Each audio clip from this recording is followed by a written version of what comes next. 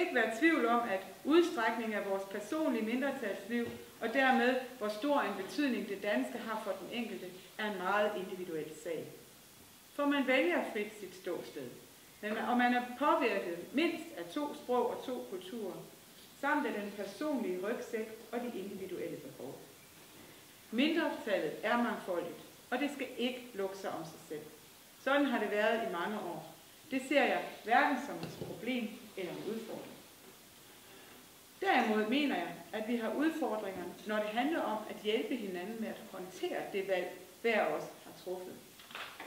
For mindretallet rummer alt lige fra familier med flere generationer af Sydslesvige med dansk baggrund til dem, der vælger det danske og mindretallet for første gang.